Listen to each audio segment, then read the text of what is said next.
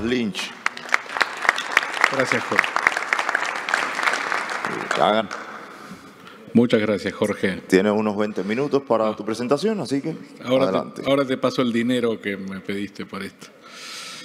Bien, em, voy a presentar, la presentación está en inglés, pero la voy a presentar en castellano. Em, lo que vamos a hablar es medición de latencia de prefijos Anycast, pero en realidad la presentación es una trampa que van a ver al final. Em, ¿Cuál, es el escenario? Em, los prefijos Anycast, incluso hubo una presentación hoy em, de- del municipio de Costa Rica que decía que enviaban su Anycast de- del DNS desde 60 puntos, creo. Eh, nosotros un poquito más chiquito, pero 32 puntos. Y mm, lo que voy a hacer es pararme acá, porque si no, no tengo que ver qué estoy presentando. Eh, Anycast desde 32 puntos, entonces, y nuestros clientes también eh, envían estos prefijos Anycast. Entonces, teniendo en cuenta que Internet es topológico y no geográfico, eh, puede pasar que de la ciudad A, que está a 10 kilómetros de la ciudad B, ese prefijo Anycast en realidad tome un camino que sea alrededor para llegar a ese punto. Eh, y esto los consideramos como caminos subóptimos. Eh, tenemos varios ejemplos. Eh, un, un proveedor gigante de Internet con presencia en España eh, elegía, en lugar de elegir ir a Madrid para los DNS de IPv4, lo elegía en San Pablo. Entonces, nuestros DNS o los ENICAS de nuestros clientes en esta compañía eh, iban de Madrid a San Pablo, que son unos 250, 200 milisegundos aproximadamente, cuando la latencia Madrid-Madrid es debajo de los 10 milisegundos. Extrañamente, con la misma empresa, con los mismos sitios, con todo igual, para IPv6 seleccionaban a París. Segundo ejemplo, un, un ISP eh, local en Singapur que a su vez es cliente de un proveedor de tránsito de estos, los, los así llamados eh, Tier 1, eh, nos elegían, en vez de elegir Singapur, elegían a Seattle como mejor camino. Eh, lo intentamos mejorar, hablamos con ellos, terminaron eligiendo Tokio, pero nunca elegían Singapur, Singapur, debido a que, eh, nuevamente, topología, no geografía. Ellos estaban conectados a un proveedor de tránsito y en lugar de hacer peering con nosotros, elegían, tenían un local preference mayor hacia este proveedor de tránsito. Tercer ejemplo, conexión de IXPs. Eh, lo, lo, ah, lo que hacían era reenviar esto a sus clientes, o sea, hacíamos peering con proveedores de tránsito locales que luego en sus países son grandes proveedores de Internet. Eh, todo esto verán que sin nombres, eh, pero lo que hacían era que los clientes en, en esa ciudad, que por ahí estaban más cercanos a otro nodo que en el lugar donde hacíamos peering, elegían irse desde, esto era básicamente Latinoamérica hacia Miami, en lugar de ir de Latinoamérica hacia Brasil, Chile, México o distintos países. La solución para los, los ejemplos previos fueron los típicos, por ahí no, no, no, hay mucha información aquí, pero es eh, trabajar con comunidades BGP, hacer ingeniería de tráfico con un cóctel, le decimos nosotros, de varias eh, comunidades de BGP. Por ejemplo, si estoy en, en, Singapur, no enviar hacia Europa, o si estoy en Chile, no enviar hacia Estados Unidos y Asia, no, no, no propagar esos prefijos, o propagarlos, pero que en las otras regiones tenga una menor, eh, una, menor local preference. Em, por ejemplo, en, San Pablo justamente eh, los proveedores que tenemos son varios, hay varios locales eh, y luego tenemos estos dos tránsitos, los Tier 1. ¿sí?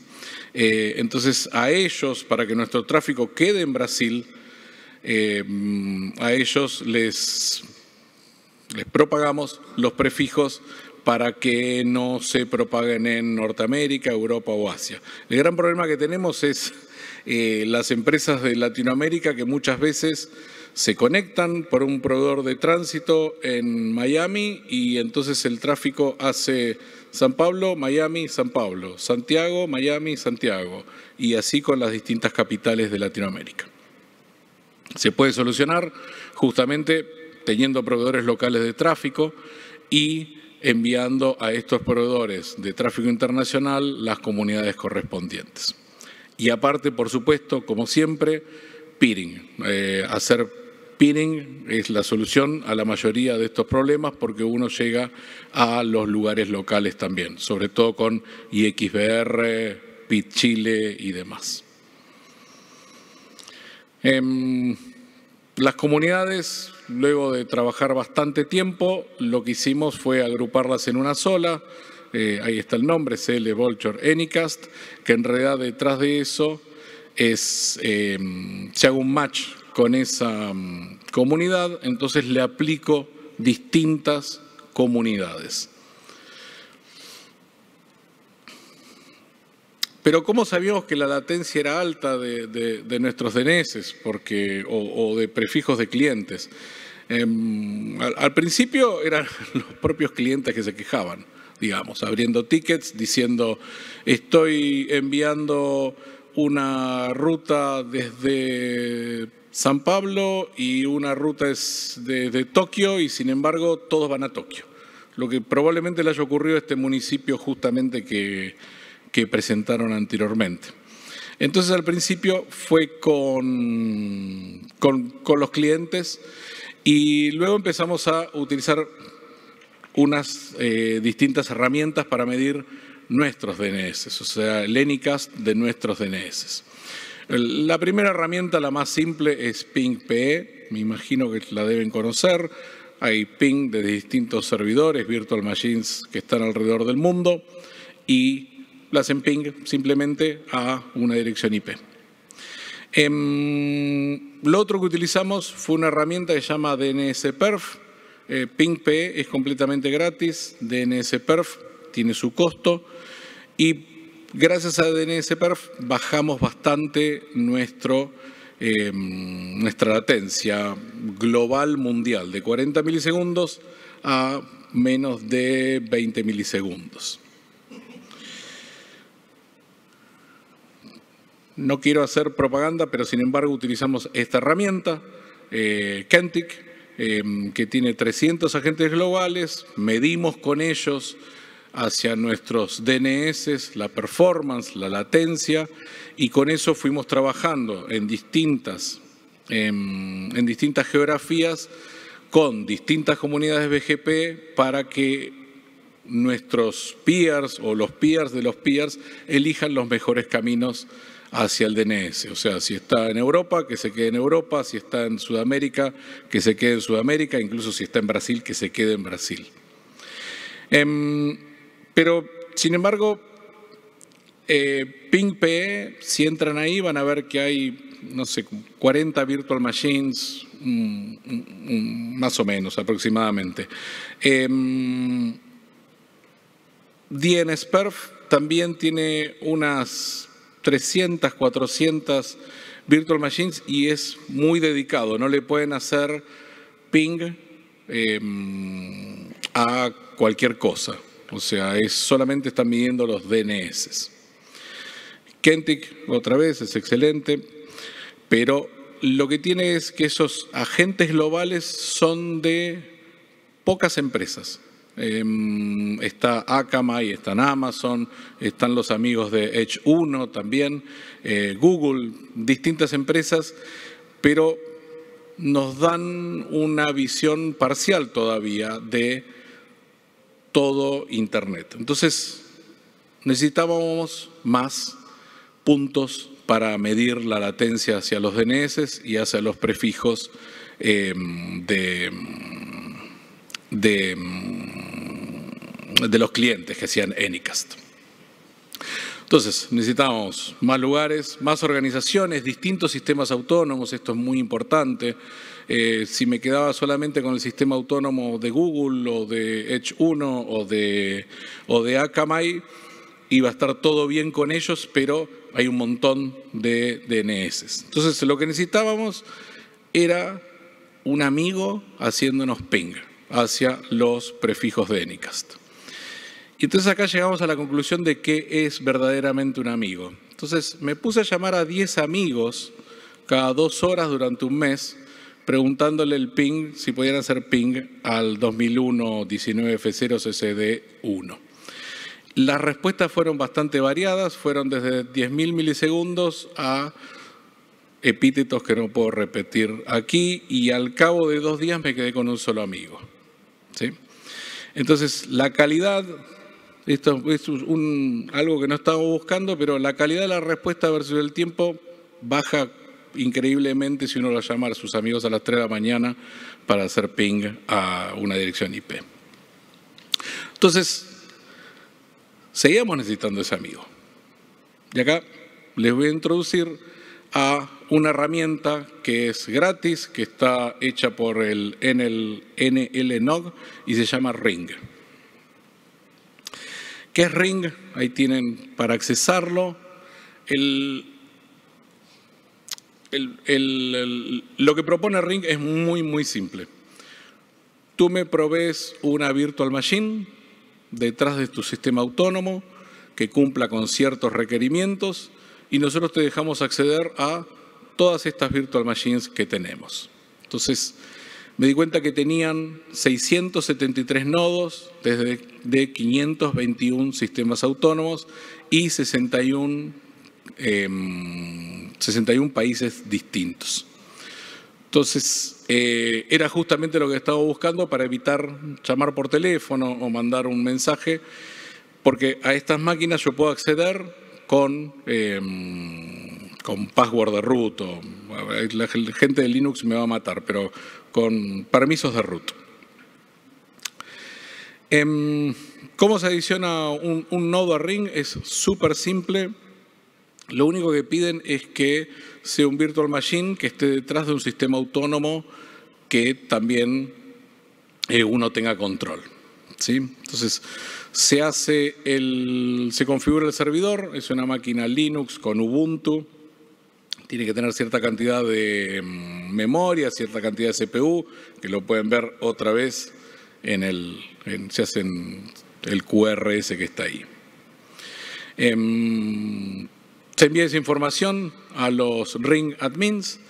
Los ring admins hacen su magia para que todo funcione correctamente. Agregan la forma de, acceder es con llaves SSH, o sea, tú le entregas una llave SSH a los ring admins y ellos la van a eh, configurar o poner o como se llamen en SSH en los distintos servidores, eh, en esos 600 servidores, virtual machines o servers que hay alrededor del mundo. No solo se puede acceder, sino que tiene, em, sino que se pueden hacer comandos. Acá lo que estoy haciendo es desde una máquina mía, estoy accediendo a eh, una máquina que tiene el nick BR en, eh, en, en Ring. Eh, desde ahí me da un prompt y yo desde el prompt puedo hacer ping, SSH otras máquinas, MTR, lo que quieran. También está la condición de que, por favor, si te vamos a dar este acceso, no destruyas las máquinas. Como ven aquí, un ping desde NICBR lo puedo realizar tranquilamente. Estoy haciendo luego un telnet al puerto HTTPS para verificar si puedo conectarme o no eh, por alguna razón. Pero también hay comandos, o sea, se pueden realizar comandos de a uno, o sea, ingresar a una máquina, hacer los comandos de a uno, y, em, pero también hay comandos que em, lo que hacen es trabajar con varias máquinas al mismo tiempo. Por ejemplo, Ring Ping lo que hace es, digo, Ring Ping mi número de IP y lo que va a hacer es elegir eh, por default 10 servidores al azar y va a enviar un ping de cada uno de ellos. Em, ring all es voy a hacer un comando desde todos los, em, todas las virtual machines que quiera. Aquí, por ejemplo, ¿funciona el láser? No. Bueno, aquí, por ejemplo, estoy haciendo un dig de lagnoc.net desde todos los nodos que estén en Brasil. Y me devuelve los distintos nodos. Ahí vemos uno de Amazon, uno de Edge 1 y demás. Ring trace, esto es muy divertido porque el ring trace no, va a mostrar un trace, sino que va a sacar una imagen de cómo van los paquetes em, utilizando distintas máquinas. Aquí no se ve bien, pero hay varias de Europa, hay algunas de Sudamérica y otras de Asia que van hacia el mismo número de IP, que es justamente el Anycast que estoy enviando al, que estoy propagando hacia Internet y lo acceden desde distintos lugares. Si hago el ping, voy a pasar este al próximo, puedo hacer un ping desde 50 servidores por default, puedo indicarle 3 con ese menos N3 o puedo indicarle N10. ¿Para qué me sirve este rping y para qué me ayudó es, por ejemplo, el primer nodo que aparece allí es de Australia, dice que tiene 36 milisegundos hacia mi prefijo Anycast. Eso, tenemos un nodo en Australia, eso tendría que ser menor.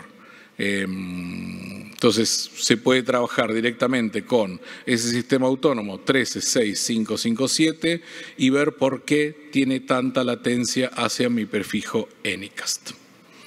Em, RPing N0 lo que hace es tomar todos los servidores que existan.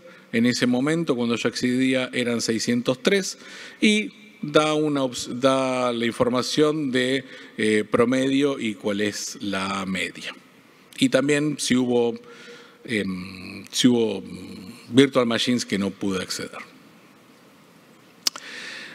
Entonces, acá, en realidad la trampa es una invitación. O sea, mi motivo de esta, de esta presentación es, el primero es ver qué herramientas tienen para medir Anycast y el segundo motivo es invitarlos a que se unan a este anillo o ring. Em, en Latinoamérica hay solamente 15 nodos, dos en Argentina, nueve en Brasil, dos en Chile, dos en México.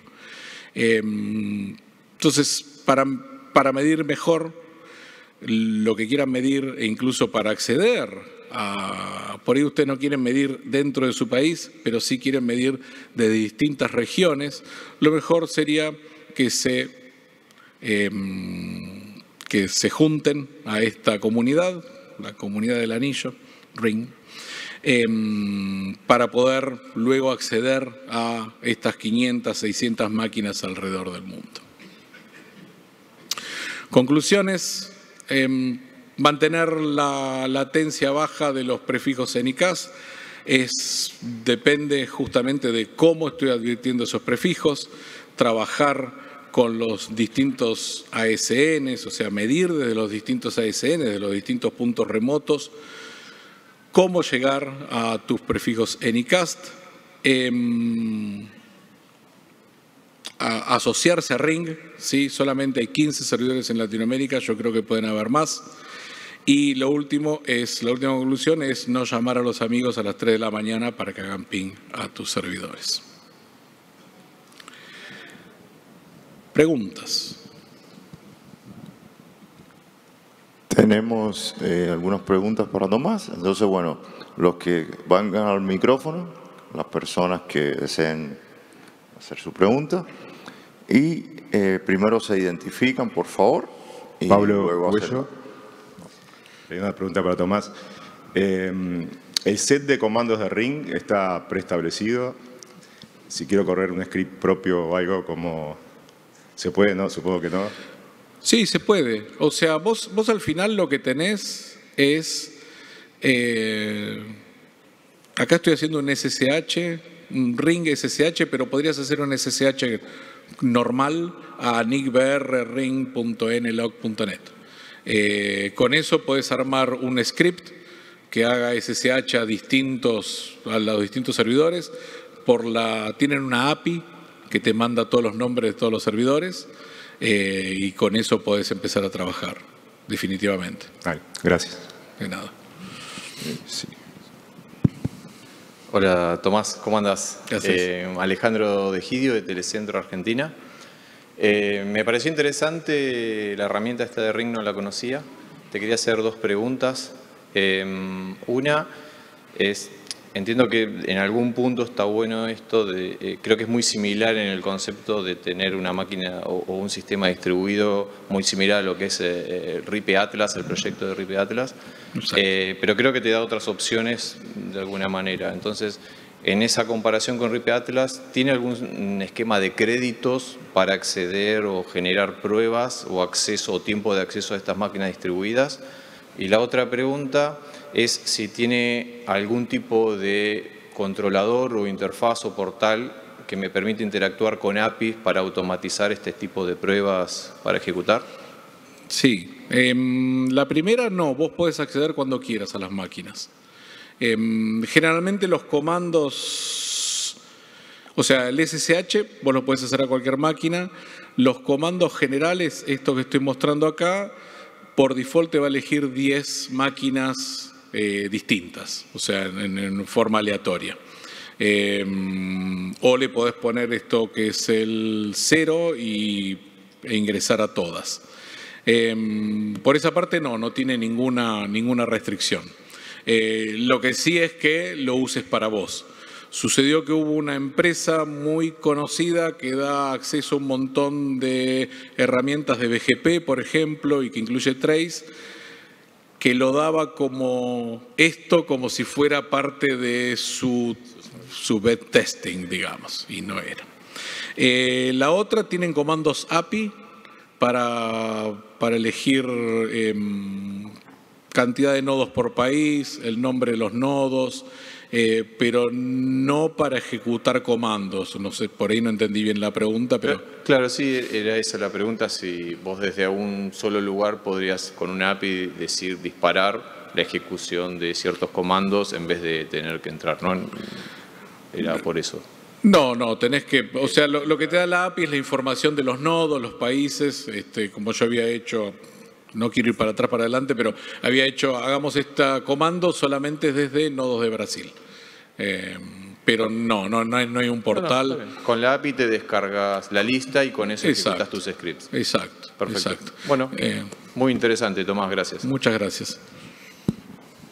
Sí, ¿alguien más? ¿Alguna pregunta más? No tenemos más preguntas, no hay ninguna pregunta remota tampoco. No hay preguntas remotas. Entonces, bueno, eh, muchas, gracias a, Pablito y a Alejandro que preguntaron y sobre todo a Tomás con su presentación. Un aplauso para él.